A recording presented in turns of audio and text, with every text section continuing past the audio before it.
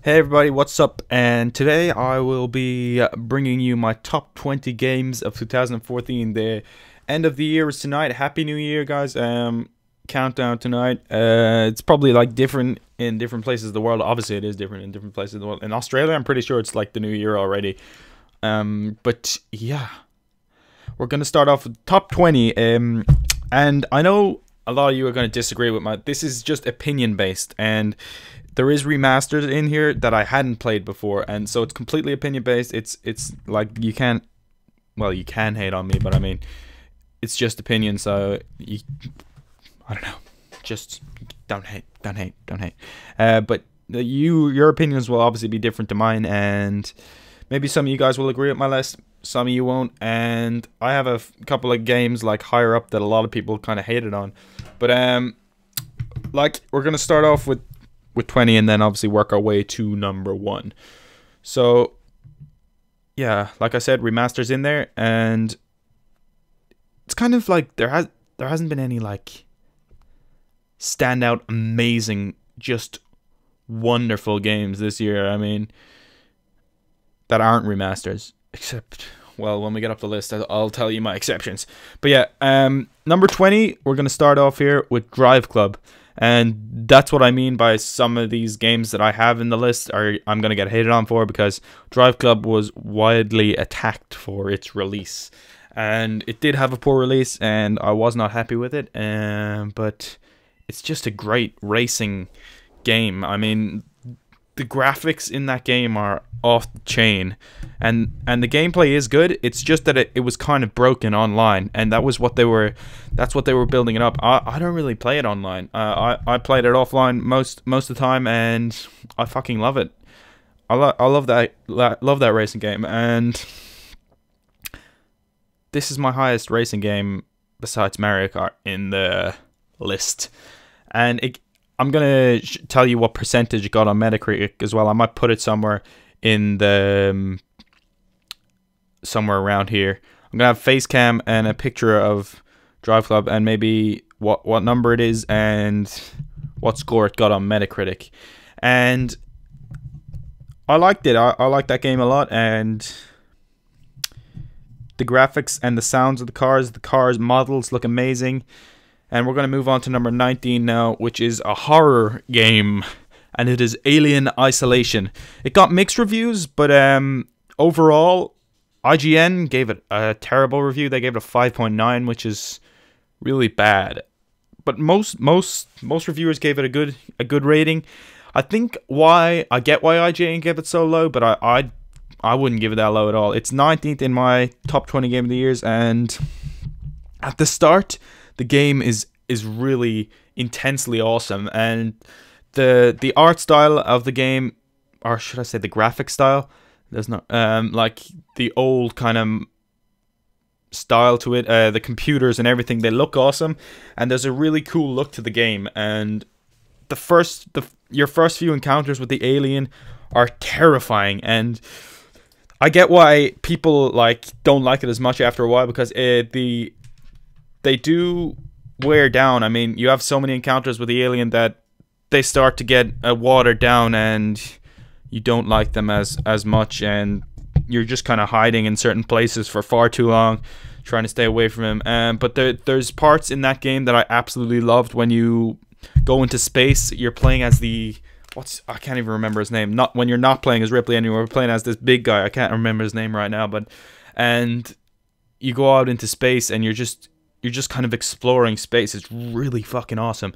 And when you go into like the aliens den or whatever you call it, the layer, it's so cool. Some of the missions in it, like, I kind of agree that it's too long. The game is too long. I know a lot of people like love long games, but there's some games that should be long, and then there's some games that are kind of just dragged out. And I felt like this one was a little dragged out, but I mean, I still loved it, and I played through it. I played through it in full, and I enjoyed it and my my walkthrough was a lot of fun, and I I know you guys liked it anyway, and I was scared shitless on countless times. So yeah, we're gonna move on to number eighteen, which is Titanfall, which is kind of a, a weird a weird game. I mean, it's it, not a weird game, but it's its release was weird. I mean, it was hyped up so much, and the beta kind of just died down the hype for the game because like you play it, there's no campaign, it's just online, and and you've basically played all of what you're gonna play in the beta. And it's it's kind of a weird situation, but um, it was still a lot of fun to play. It was a lot of fun uh, to play with your friends, but it's not a game that I'd like get on and play for hours on end by myself or anything. I'd I wouldn't. I'd play with my friends, but um, I don't. I haven't played it much at all recently. But at the time, you did have a lot of fun with it. It was kind of a new aspect with the Titans, and that was cool. Um, we'll move on to 17. I'm not going to say too much about Titanfall, and I don't want to drag this video out too long.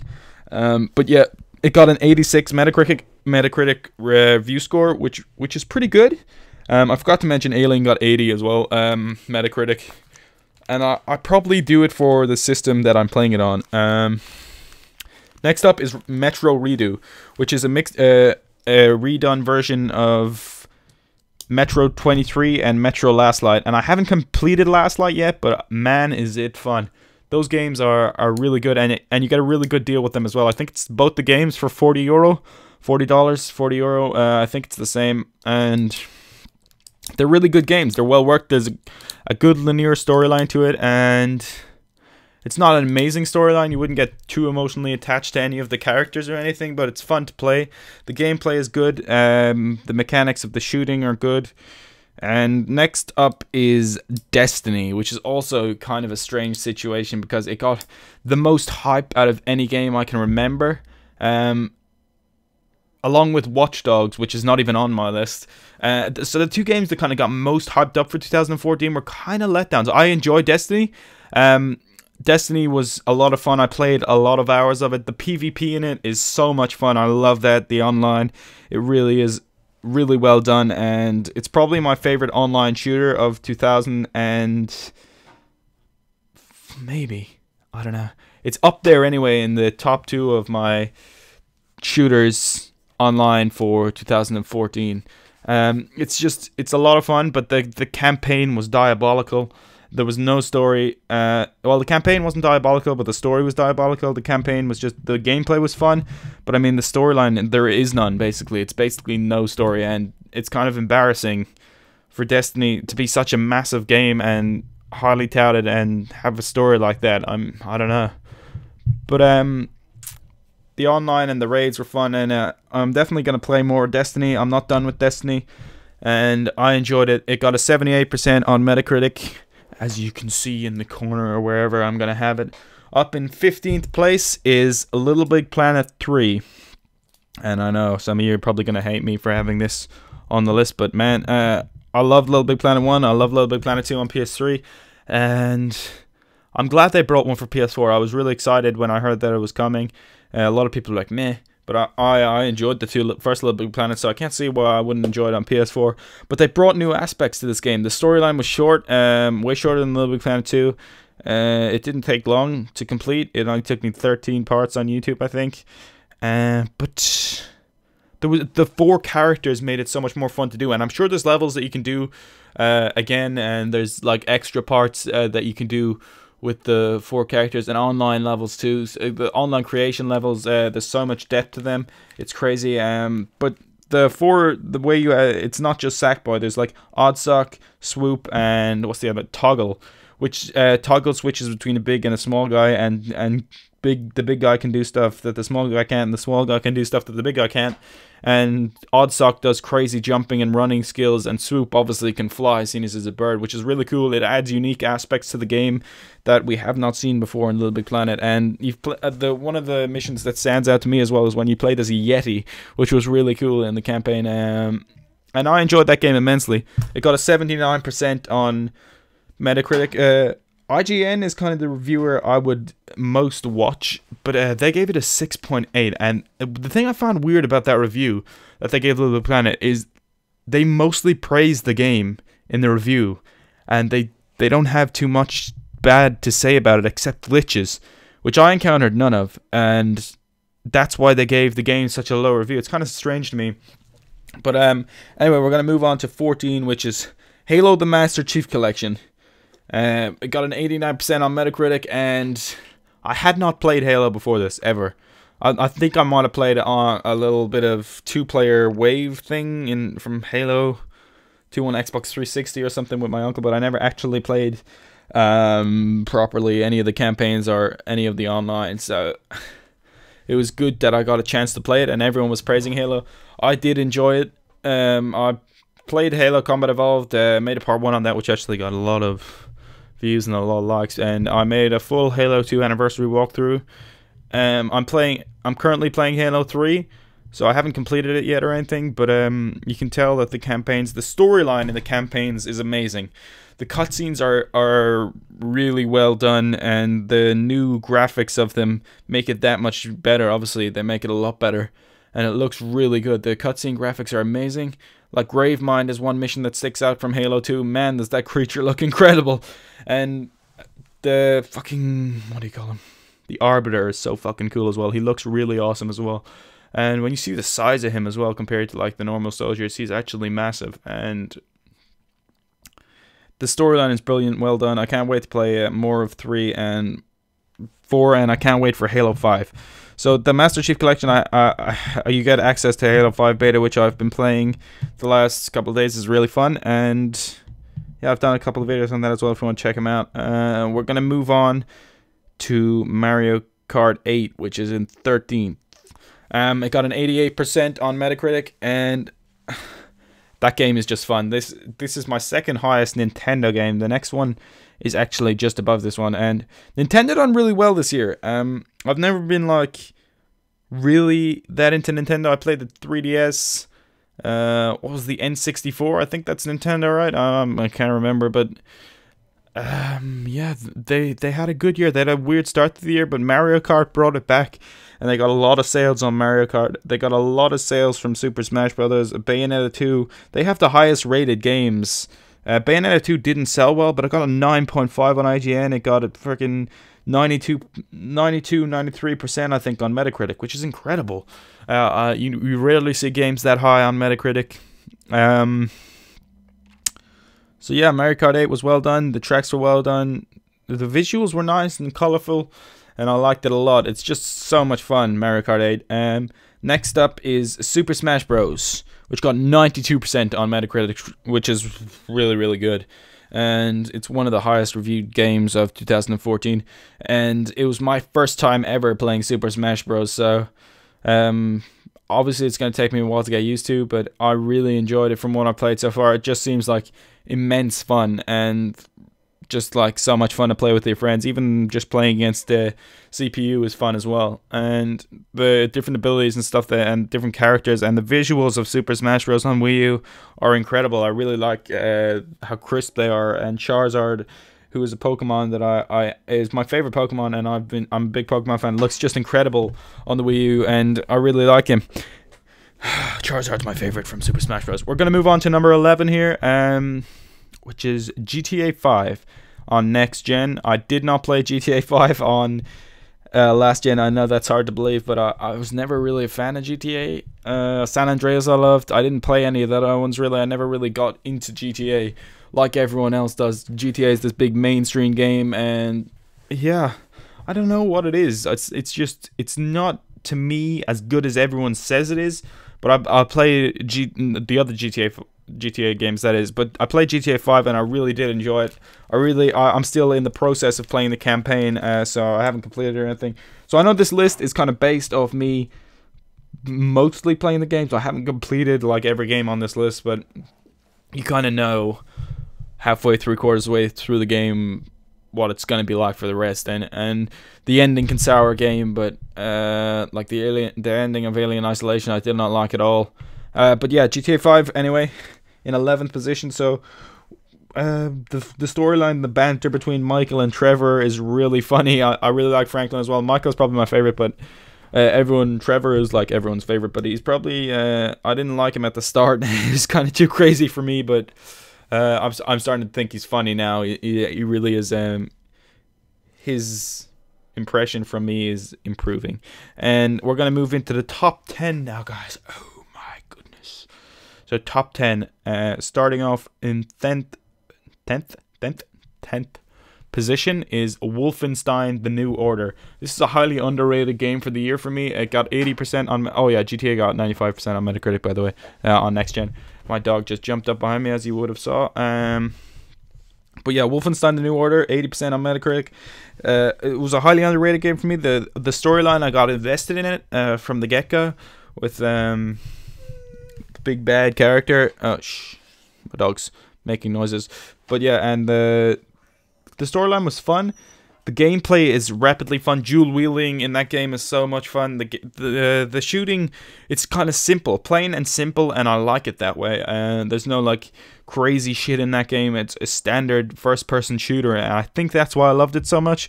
Uh, with a good storyline, a standard first person shooter with a good storyline, uh, based on war, which is just what you want, really, in my opinion. Um, which it turned out to be a really cool game. There's like some cool enemies, different types of enemies, and uh, I turned out to to like that game a lot. It was it was kind of um, towards the start of the year, so the games at the start of the year tend to get forgotten about a little bit.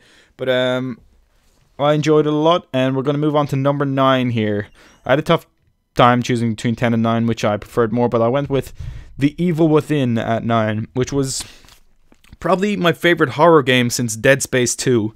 And really, it just set the tone early on uh, with the big guy. Uh, you have to get past him and running away from him, and you're fucking your leg up. And it just, it, uh, the detective shit, it was cool at the start. And I really enjoyed the whole chapters thing. I like the way they done it in chapters like that. I I done the first 14 parts on YouTube and I streamed the rest of it. I got a good following for the stream as well, so I enjoyed doing that a lot and yeah. Uh just just great. The enemies were great. The story was pretty good as well with Ruvik and Leslie was pretty crazy.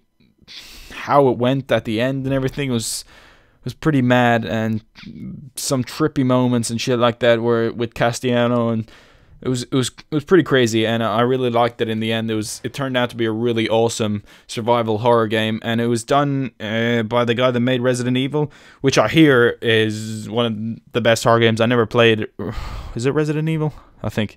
Yeah and I've never played them but um we're going to move on to number 8 here which is kind of a, a unique and different type of game, which is Sunset Overdrive. It got uh, Evil Thing got eighty percent on Metacritic, by the way, as well. Uh, if you you would have seen the number in the corner, but um, Sunset Overdrive got eighty three, and boy was it fun! It was just from the get go. It the story is filled with fun moments and and just kind of funny moments as well like like even when you die it, it, just brings you straight back in a rocket or something. It's pretty it's pretty awesome and i enjoyed it a lot and my dog's begging for attention here so i'm kind of trying to rub him at the same time as doing this video but yeah.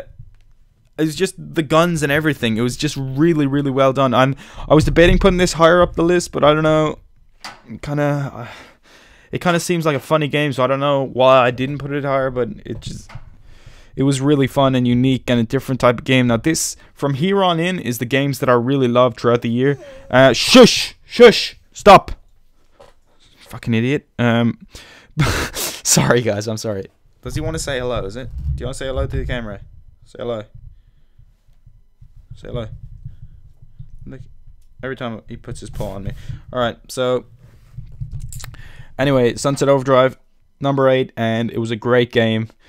Um, and I would love to see another game like it. Uh, but that's the thing. There's not many games like it, and the guns were just crazy. Like different types of guns, like fucking sh shooting out fire candles, Roman Roman candle, fucking shooting tea and teddy bears. I mean, it's just madness from the get go, and it's a lot of fun. And there wasn't like too. There was a cool storyline to it. It was kind of fun filled. Uh, nothing too serious, nothing too emotional. Um, but yeah, we're going to move on to number seven here, which is The Wolf Among Us, which I only played recently. I did not play it on release. I did not do a walkthrough of it or anything, but I just played it um, maybe a week ago over Christmas, before Christmas, and man, did I fucking love that. It's my, it's like the first Telltale games that I've played through fully because I've I've recently played Tales from the Borderlands, which was my first time playing a Telltale game. I love that episode one. Um, I love the Game of Thrones episode one, and I'm currently playing The Walking Dead now after finishing The Wolf Among Us. I'm playing season one at the moment, which I am doing a walkthrough of, and I will be doing season two after that. So, um, The Wolf Among Us, the the storyline, the fables, everything about that game really, really appealed to me. And from the get go, Bigby was awesome. I really liked him. Uh, all the characters were cool. Beauty, Beast. Uh, Beauty was a bit of a bitch, and Beast was a bit of a dick. But I, I mean, I enjoyed their characters, you know. And uh, even Georgie, he was freaking awesome, even though he was a complete dickhead.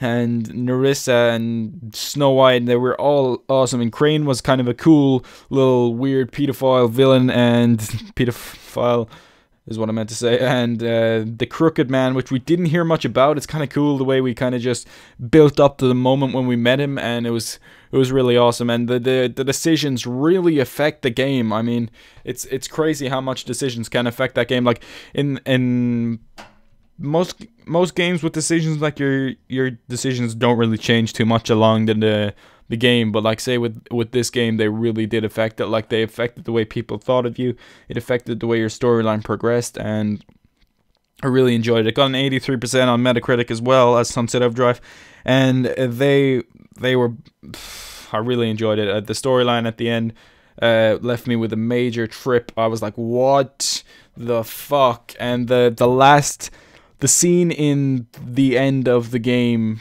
or the last chapter of the game where you turn into a massive fucking wolf and battle uh, Mary, Bloody Mary. That was the coolest fucking thing in a video game in 2014.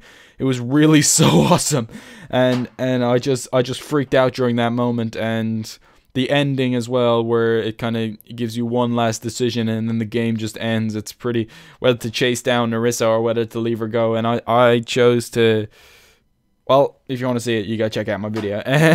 uh, no, I didn't do videos. What am I talking about? I, I chose to chase after her. What the fuck?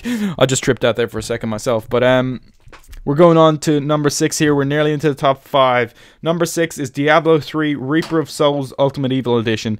Uh, so Diablo 3 came to consoles, and boy, is it good on console. Uh, it's really awesome. Uh, this got a 90% on Metacritic. IGN gave it a 9.2. Um, so it really did do well review wise um, on the consoles, PS4 and Xbox One, that is, not PS3 and Xbox 360. Um, it really just fitted perfectly.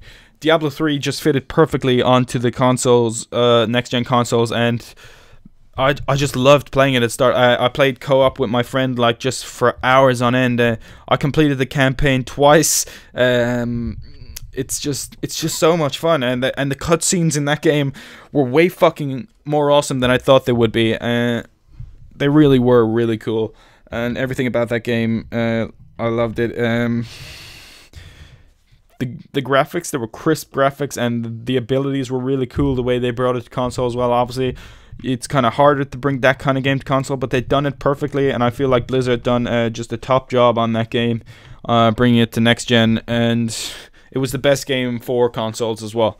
Um, we're going to move into the top five now. Uh, shh, stop it.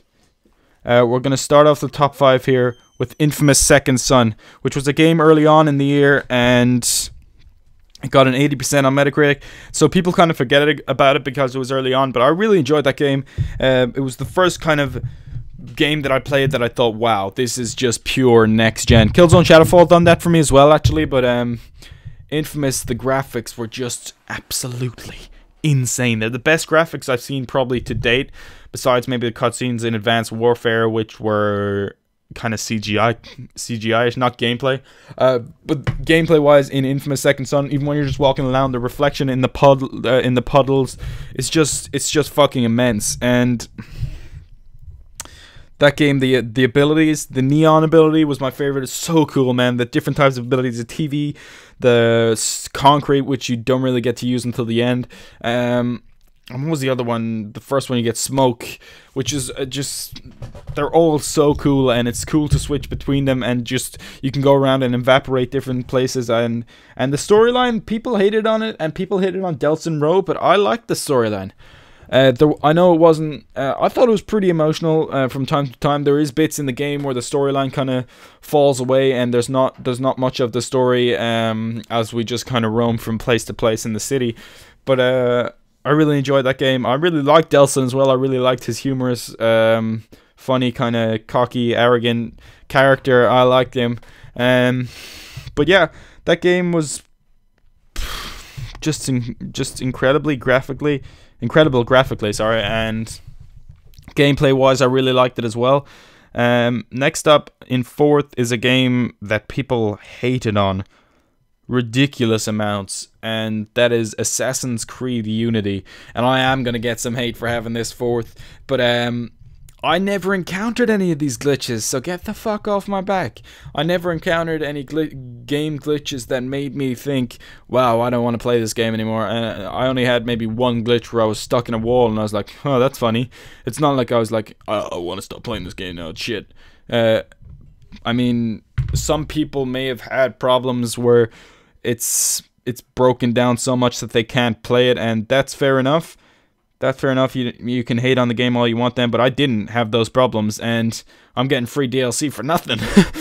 but um, I don't know when that free DLC releases. Actually, is it is it next early next year? Hopefully. Um, but yeah. I, I, I completed the storyline on YouTube. Uh, I enjoyed it a lot. That story to me was really emotional and really awesome, but I, I did not like the ending at all. Um, really didn't like the ending where your GF don't want to give any spoilers, but um, anyway, yeah, I was kind of sad after that ending. It kind of left a sour taste in my mouth because I really liked the storyline, the the relationship between Elise and Arno. I really enjoyed it, and I thought now that maybe we'd get another game with Arno because Arno to, Arno to me was a really cool character. I liked him a lot, and they keep switching characters in Assassin's Creed. I kind of wish they'd stick with one for a little while so you'd, you'd be emotionally attached to him. Uh, but it doesn't seem like there's going to be another game with Arno in it. Um, but hopefully we get a cool new guy. Um, I, I way preferred Unity to Black Flag. I did not enjoy Black Flag, but most people loved Black Flag and hated Unity, so I don't know. Um, but uh, I did make a comment on Ghost Robo's video saying, honestly, I don't get all the hate. Uh, I fucking love Unity, and I have about 300 thumbs up on it. So some people agree with me, obviously. Um, and yeah, I know I'm gonna get hate for that, but it got a 77 on Met uh, Metacritic, which is not good for an Assassin's Creed game. It's not terrible or anything, but it's not very good. And in third position here, uh, we're into the top three now, which is getting down to the wire. I'm just gonna take a drink first because I'm fucking gasping. It's my first time doing um, a top 20 or anything, so excuse me if um, I'm doing this wrong or whatever, but top three, we're starting off here with Call of Duty Advanced Warfare, which was just. It kind of hated because it's a Call of Duty game, you know? Oh, another Call of Duty, fuck this. But I mean, the storyline with Kevin Spacey, Jonathan Irons, playing Jonathan Irons, um, the cutscenes just looking like the best thing I've ever seen in my life. And the storyline was short, but it was short and sweet, and it was nicely done. I really enjoyed it. the The thing with YouTube, YouTube really pissed me off, where I couldn't upload videos at all because they'd get blocked worldwide, and it was kind of a bitchy thing for Sledgehammer to do. I mean, I don't get why they would or whatever. But anyway, Activision, whatever. Uh, but yeah, got an 85% on Metacritic, which is pretty good. Um, the online play is a lot of fun as well. It's it's it's similar to Titanfall in ways, but um, I think it's better better done. Maybe uh, I don't know. And it has a campaign. It has single player. Um, it has local play. It has a lot of things that Titanfall doesn't, and Titanfall just has the online play, you know. And Call of Duty has a lot of different game modes as well. Titanfall doesn't really, um, until the DLC packs anyway. And Uplink, these kind of game modes in Call of Duty are just really fun, and uh, I enjoyed it a lot. I enjoyed that game a lot, and the storyline to me was really good. Um, it was a cool ending. I kind of wish Uh, that guy didn't die, um, but I'm not gonna try give spoilers here. I don't want to, just in case you haven't played the game. But um, anyway, it was cool. Gideon was cool. Um, Mitchell, your own character, was pretty cool. Can't remember the the guy's name, the black guy. Um, what's his name again? Shit, I can't think of it. He was like your leader at the start, and God, that's killing me now because I definitely know it. Oh, it's in the back of my mind. Um, but he he comes back uh, later on in the game, which is cool, and you join up with him uh, Atlas was a really cool thing. I really like that storyline where Atlas was Atlas was kind of taking over the world, and Kevin Spacey as Jonathan Irons was like a big villain in disguise. It was really awesome and nicely done. At number two here we have Dragon Age Inquisition, which is one of the most incredible RPGs I've played so far, and the depth and scope of this game is absolutely magnificent, and it's an absolutely huge world it's it's going to take me some time to complete it. Uh, I haven't completed it, if you're wondering. Um, it's going to take me maybe 120 plus hours. I'm doing a walkthrough on YouTube. I recently started it back up. Uh, I kind of went off and just played by myself for 10 hours straight. Um, but yeah, it's a lot of fun. It's it's the party, the gameplay is cool. Um, the way you kind of switch between mages and warriors and rogues uh, in gameplay is really cool, and the kind of way they have a system where you can, um, what is what's the word where you can like go into a tactical mode, uh, is really fucking awesome as well. Uh, my dog, shut up, go away. God damn it, husky.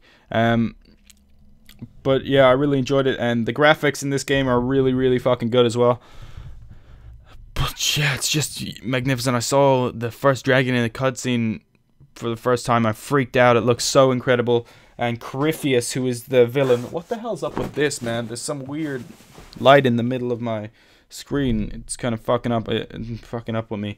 Um, there it seems to be gone now. Um, Corypheus looks incredible. He is the villain. Um, what else is there? This fucking Skyhold, which is your base, and you're basically like the king of that place. It's so fucking cool, guys. Really, Dragon Age, uh, just, uh, man, it's it's incredible. That's what it is. It's this fucking thing. It's it, it the light is shining off that. Sorry, um, but yeah, it's just a massive open world. Best RPG I've played in a long time and I, I really really enjoyed it so much. It got an 89% on Metacritic, so it did get great reviews. And I saw you can just see dragons openly in the world, which I've seen a couple of times. I got murdered by one once. I was just I was just kind of casually attacking a Fade Rift, and I just hear Sera goes, "Oh, she's a big one," uh, who's a uh, uh, part of my party at the time. And then I'm like, "What?" And then I just see all the guys that I'm attacking instantly get murdered, and I'm I'm like that was easy, and then I turn around, Sera just gets murdered in one hit, and then I, all both my other party members just die, and I'm just like what the fuck, and I look up and there's this massive dragon, and I just kind of run for my life and, and and just manage to escape. I think. Um, but yeah, it's really cool the way in the open world there's kind of just guys all around the place. Um, enemies all around the place, camps all around the place, fade rifts all around the place. It's cool, and you and you are like your decisions really do affect the world as well similar to like the telltale games your decisions really affect the world and you can choose whether you want people to join you or not you can choose whether you want them to be enemies or whether you want them to be allies um and it's it's cool the way they do that so I kind of mostly get everyone on my side, and I know that might might not pan out for me in the end because they could there could be internal wars then be, between different guys and stuff like that. But uh, you're placed in Skyhold, you judge prisoners and everything. It's just so so cool. And wow this video is dragged on hasn't it? Oh shit i didn't realize it was that long. Uh, in first position guys is the last of us remastered. And yes it is a remastered game in first but it was my first time playing it. I didn't play it on ps3 so that's why you can understand. It's first for me uh, 96% on metacritic uh, it's fucking incredible I can see why it got all this praise and everything because it was one of the most incredible games I've ever played, and it was so fucking cool, guys. It was really, really awesome, and yeah, it really, it really was. Uh, I enjoyed it so much, ridiculous amounts. The storyline just emotional as fuck. The gameplay, the shooting mechanics were awesome. The online is awesome too. It's so underrated. Um, but Joel, love Joel, love Ellie. Uh, Tommy is my favorite. Fucking Tommy the boss. Um, but yeah. Anyway, guys, uh, I better wrap this up. Last of Us Remastered, my game of the year. Dragon Age, if there was no remasters. Um, so, hope you guys enjoyed this video. If you did, make sure to give it a big thumbs up. I'm probably going to get hate and get a load of thumbs down as well, but uh, I don't really care about that. But yeah, that's my personal opinion of my top 20 games of the year. Hope you enjoyed. If you did, make sure to hit it with a big like, like I said, and I will see you guys later. Bye bye.